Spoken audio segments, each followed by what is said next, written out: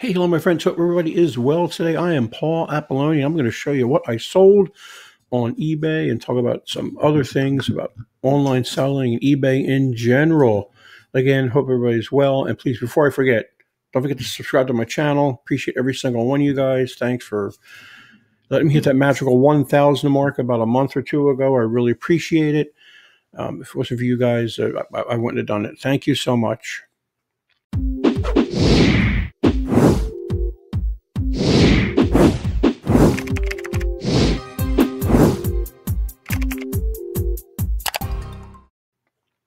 All right, again, I'm Paul, Paul Apollonia. Yeah, got my tongue tied today. Been selling for, gosh, 20 plus years. Took it seriously probably about 19, 18 years ago. Um, started with some consignment from a friend of mine that was trying to help me out to make some extra money. And I got kind of addicted to a consignment. I also do a lot of parting out of uh, items, dishwashers, etc. Sell a lot of used items, sell a lot of uh, items as parts not working that's something you shouldn't really mess with the beginning. Just get familiar with the platform, selling and everything else, and then move into that. Um, I have to be real descriptive doing that. And I also do some training and I run the Raleigh eBay meetup, eBay ecom meetup group. We meet second Thursday of the month at 3 p.m. It's a Zoom format. And I also have a dishwasher, uh, parting out of dishwasher course on Teachable. All those links are down below um, check them out. And I love eBay, but I also list on some other platforms like Mercari and such using a program called List Perfectly. Basically, you put everything into List Perfectly and you propel them out to different platforms. So um, that works for me. Check all those links down below. Some are affiliate links. I am not making a ton of money on affiliate links, trust me. Just about buy a coffee, a cup of coffee with what I make on affiliate links. Um, so here we go. Let's go over some items. I'm going to show you what I sold. Um, I sell anything and everything, and my um, minimums are uh, pretty minimum. people laugh at them, but hey, whatever. Some people don't sell things for less than 20 bucks, 50 bucks, whatever, whatever you want to do. I tell you where I got the item and whatever, and how I got it, and tips and tricks. This is an item I talked about before. This is from the lot of appliance parts I bought. Tell everybody and anybody what you are doing. You'll be surprised what gems you will find or what gems will be given to you. This is from a lot that I bought from an appliance repair guy that his father is part of my meetup. And he went, Oh, you sell appliance parts? My son's an appliance repair guy, and he has all these parts in his garage, doesn't know what to do with we worked on the price. Then I sat on it for a while. Then I was like, I don't know if I'm going to do this or not. It's all, it's a lot of money. I'm a cheap person. I thought about it more. He finally got back to me. He goes, What are you going to do with this? You're going to take this stuff or what? And I went, Okay, let me go look at it. And the minute I looked at the stuff, I was like, Yeah, I can make tons of money. I've made probably four or five, maybe even six times more than what I paid for for the lot, whole van full of stuff. Uh, most of it was new uh, old stock, which means the stuff that he's ordered and whatever didn't fit or whatever he didn't return it, whatever. Manufacturer paid him for it, so he just kept it, which happens a lot. Um, and let me real, go quickly. I do uh, keyword specifics for my uh, title. I don't really worry about grammar. I'm, I'm, worried about what are people looking for when they're searching on eBay and searching on Google. Because don't forget, they upload all their listings to Google Shopping every day. So you get two avenues for searching on eBay. Um, I always use condition description when I'm not selling something new. So it, um, I want to put something up there to catch your eye. Like I want to make sure they want to know. I want to make sure they know it's an open box.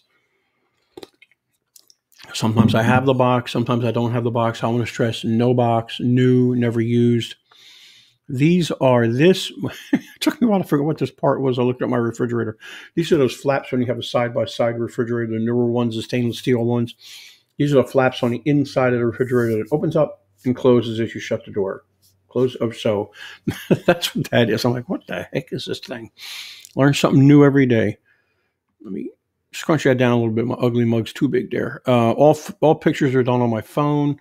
I try and uh, be as descriptive as I, descriptive as I can with pictures, if that makes sense. Picture of the model number, uh, tag, and everything.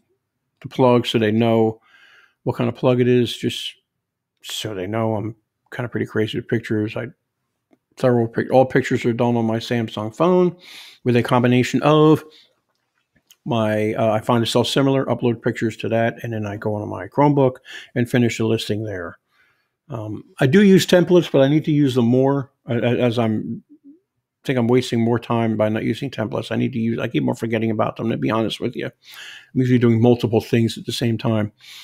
Uh, item specifics are very important. These play a key part when you're doing searches on eBay. On the left, on your screen, when you're putting all that information in to look for stuff, new, used, whatever color, all that is pulled off item specifics. Very important. You take the time to fill these out. Um, don't fill out things that don't pertain to your item. Um, like here I put no, but that's fine because it's not, it's not, that was an option in that specific. You can create your own specifics.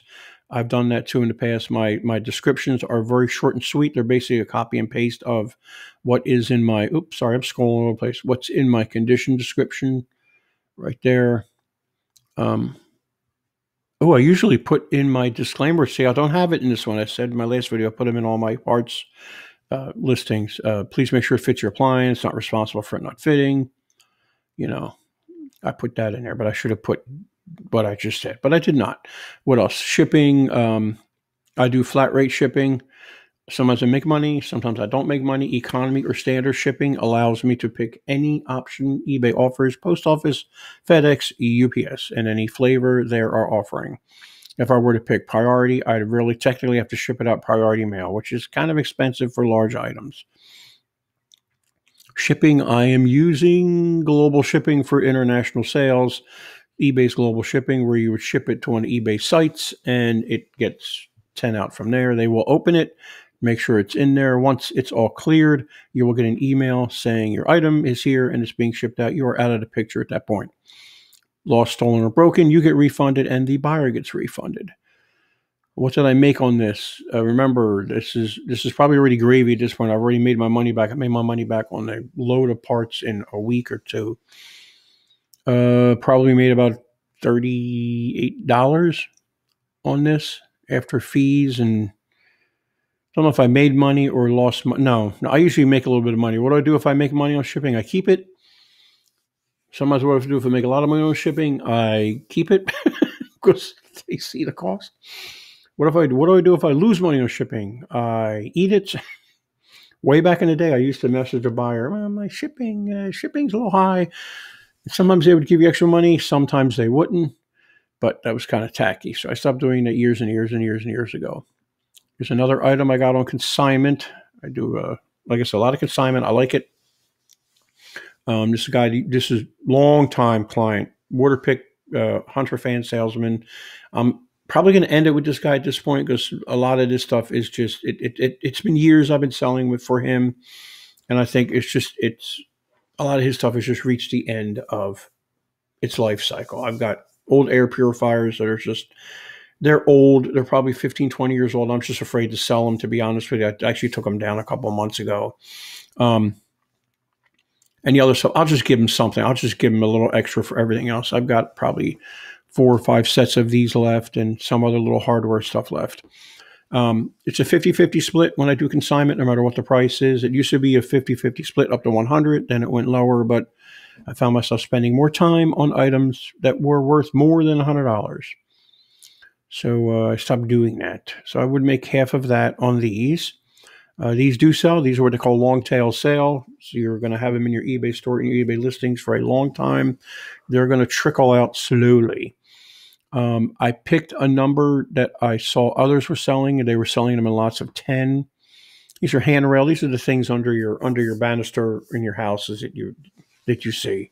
They're pretty much standard. Um, I took the time to unpack one and show it unpacked here. Let's show some of the pictures here pretty crazy with pictures. I, I, I believe you should really take a lot of pictures. There used to be only a limit of twelve. Now, I honestly, I just forgot the amount of pictures you can take on eBay now. I think it's up to twenty four or whatever. So I'm pretty crazy with the with the pictures. There's up close what you get. So um, there you go. So I did pretty good with that. Made uh, what sixteen dollars. It these go out usually in a um, post office padded flat rate envelope goes out for 830 which is um, pretty cheap they weigh in at about a pound I just I just sold a set of these yesterday actually. A pound and a half, pound and three quarters. Um, so it, it it's going to cost you about eight bucks, eight ninety to ship these, but with the padded flat rate envelope through eBay because you get discounts through eBay, uh, it was eight thirty. So um, I did pretty good. I made a little bit of money on shipping, so that was good. Uh, lawnmower body. Okay, so I used to do small engine repair, and I thought, what am I doing this all this repair stuff for? Spending all this time repairing stuff when I'm when I sell parts. So I decided to move that to parting out. I don't do much of this anymore. This is stuff that people give me. I have long time people that are givers, I guess you'd call them. They just call me up periodically. Like they're like, you know, I know this one guy, he calls me up like once every year, once every year and a half. Hey, I got this at my house. Do you want it? Hey, I've got this lawnmower at my house. Do you want it? Hey, I've got this refrigerator. Do you want it? Just like, okay, sure. I just ask them to send me the part, or send me the part, send me the model number. I make sure I can pull a few parts out. Uh, some people give me a lot of stuff. Sometimes I take stuff just as a goodwill gesture, go through it when I get home and take the rest of the dump or to the thrift store. But uh, this guy gave me this mower. I did really well with this mower. I sold uh, the recoil, which is the thing you pull to start the mower. I sold um, a few of the gas tank and everything. I probably made about, I'd say, it's been so long. Um, I'd probably say I made about 150 bucks on $175 profit off of this lawnmower, off of the parts. This was a large item. Um, I sold the front wheel set. There's a wheel set that goes right here. It's a plastic, black plastic thing with the wheels. I sold that too. Um, took me probably about 45 minutes to part this all out. I originally got this mower and I thought, you know what? It runs kind of. Let me play around with it. Let me see if I can get it to work. What a mistake that was. Spent about an hour, probably lying there, probably more than that. I can't remember. I don't want to remember trying to get to run. It would run, then it would want to run right.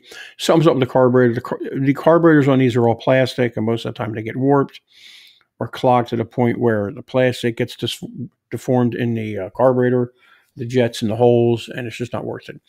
So I ended up parting it out, which I should have done from the beginning. Um, some people are hard headed. so I did really well. How did I ship this out? I had uh, two two large uh, didn't use the heavy duty boxes from Lowe's or Home Depot, um, and I just basically uh, Frankenstein the box. I basically just laid it actually on my dining room table or put the box on the dining table. I'm sorry, opened the box up, cut it open, laid it out flat, put this on the table, folded it over, tucked it in like I was wrapping a gift, and then went another box and put it the other way and folded it over, tucked it in, and shipped it out. And I got there with no problem. The guy was happy. Uh, geez, that shipping is low. Did I? I think I did okay with shipping because it went down to South Carolina, I think. So it wasn't that bad.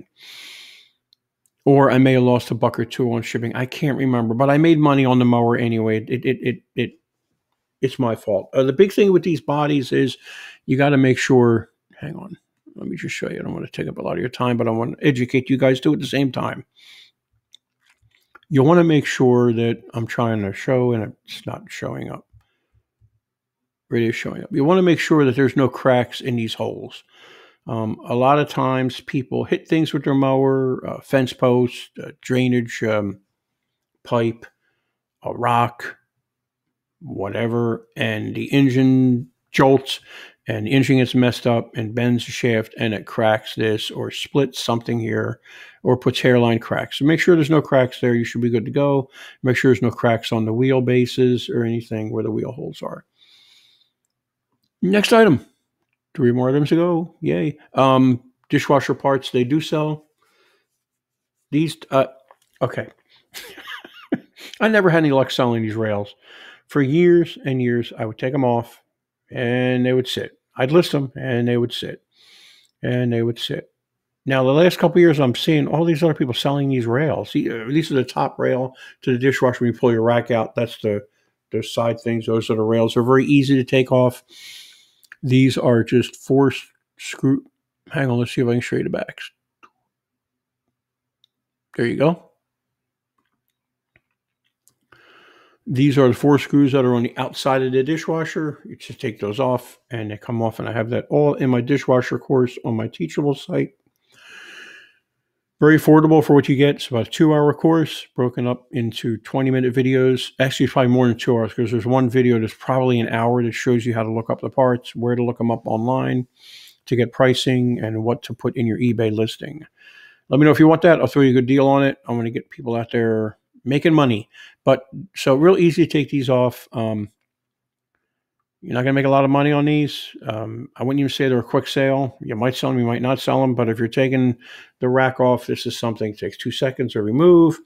I stress to uh, my students that you don't want to get carried away with parting out something. You don't want to spend five hours on parting out a dishwasher. Now, I don't know what your economics are, your income is. Maybe spending five hours on something to make $200 is a lot of money. That's fine. That's wonderful. More power to you. Um, to me, it's not, but if it is to you, that's great. I'll support you in any way I can. But um, just watch your time. I've even set a stop, uh, set my phone, a stopwatch, saying, "Hey, I'm 20 minutes into this. Where am I at?" Because a lot of times, even I will get carried away at times, going, "I can get that part out right there. I know I can make money on that part. How much time is it going to take me to get that part out?" Like I said, didn't do didn't do great. These went out first class. Like I said, don't forget uh, post office. Uh, if you send take something post office, it's 13 ounces first class. That same item via eBay with the eBay shipping and eBay discounts. Uh, eBay uh, first class is up to one pound. Uh, that will save you some money. This may have went first class. I can't remember. I think it was the length was too long or whatever. I made money on this. Didn't make a lot. Probably made about 10 bucks on this, but again, took me all of three minutes to take everything apart. Um, I look on Craigslist. I have a video out there on how to do Craigslist alerts on certain things. I have alerts set for mowers, dishwashers, vacuum cleaners, anything that I can uh, part out and make money on. And this popped up, this Black & Decker um, electric lawnmower. Okay, I looked at it and I went, hmm, hmm. And I looked at the ad more, and the guy said, I have three chargers. Okay, whoa. I went, okay, I'll grab him. Probably about a 15 minute ride to get them, 15 minute back ride. But those chargers, if they're working, go for good money. They go for 39 to $49. I don't know why. They're, I guess they're not made anymore. I have no idea. And they're used for a lot of things. He had three. One of them did not work. I did test them out. I plugged them in and put a multimeter on the end to see what kind of power I was getting out and looked on the charger, saw the output power. I was getting output power same amount on two of them. The other one was dead. Now, I could have played with the other one. The other one was the original one for the mower. But I sold those two chargers within two days for $37 a piece. Um, probably made about $35 after what what I made on shipping. I think I showed those uh, before or they may be in a future video I for or I don't know if I showed them before. I can't remember. Um, what else I sell for there? I sold the key, the little plastic key to make it go on with the safety thing for seven dollars, first class shipping. I think I made about six bucks on that. Sold something else on it. I can't even remember. But these bags, he gave me two bags Oh boy. Open book. Um, these both these bags went out west. I'm not talking about a truck wagon going out west. They went out west, and the cheapest I either made very, very little on these bags or lost a little bit. I can't remember. It was a while ago. Um, but again, I got the mower for free. I made the I made the you know 80 bucks off of those three other items I sold. I think I sold something else. I can't remember the chute or something. The, the, there's a, a thing you stick in the chute when you're doing, uh, when you're not using the bag. I forget what else I sold off of that mower, but I did okay. Um, it happens. Um, whatever. Sometimes things will go for a lot of money. How did I ship this? I used two uh, small, was it Home Depot boxes or Lowe's boxes, telescoped them together, slipped this in there, sealed it up, made sure everything was tight. I have a video on how to telescope the boxes and everything with a vacuum cleaner I sold.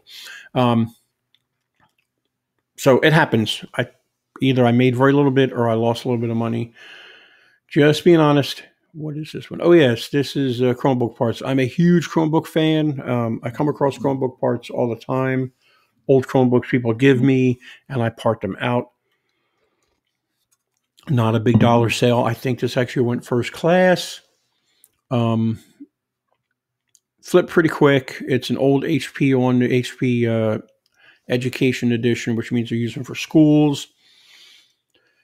Probably made about. Ooh, not much, maybe 12 bucks on this thing. But like I said, it sold quick. I have a few more I have to list. I just keep on forgetting to list them. Yes, even I have what they call death piles, which now we call money piles because you've got money sitting there in your inventory you're not using. I took pictures of all the part numbers and tags and everything else. The back, um, I know it works because it came out of a working Chromebook that uh, someone gave me. Well, my friends, that is about it. I want to thank you so much for watching and hanging in there with me. I appreciate it. And you guys have a wonderful day. It's pouring out there today in Raleigh. So uh, stay dry if you're in the area. Bye bye.